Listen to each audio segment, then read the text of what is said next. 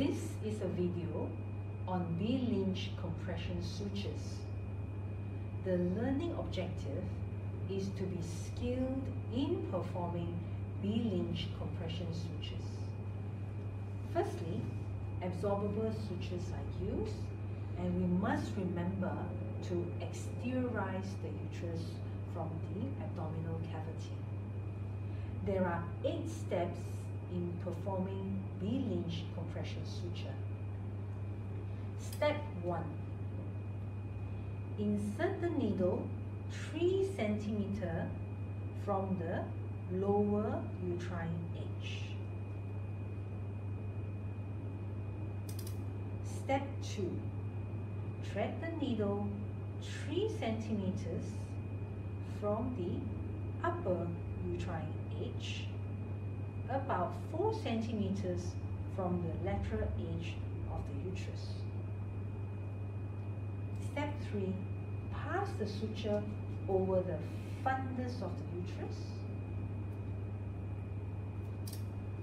to the back and step 4 this is an important step which is often incorrectly performed.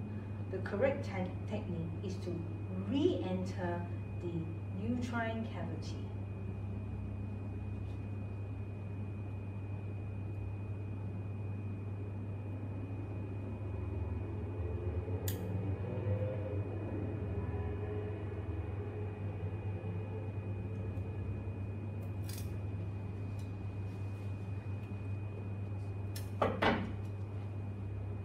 The next step is to re-enter the uterine cavity from anterior to posterior within the caesarean section wound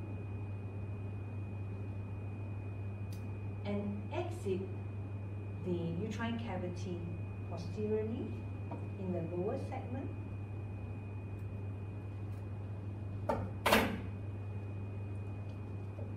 Step 7 pass the suture over the fundus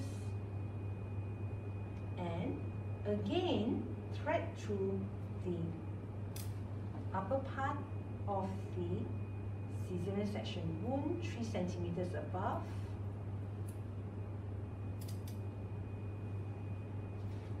And 3 centimeters below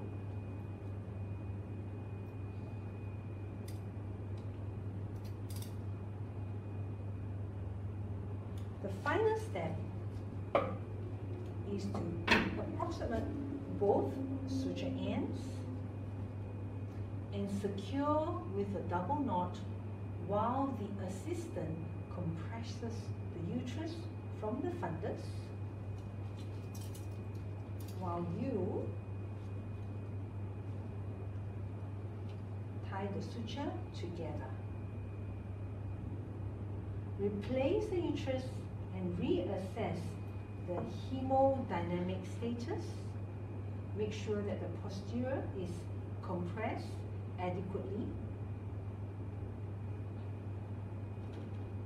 After the, the procedure, reassess the patient and ensure that it is an adequate procedure to arrest postpartum hemorrhage.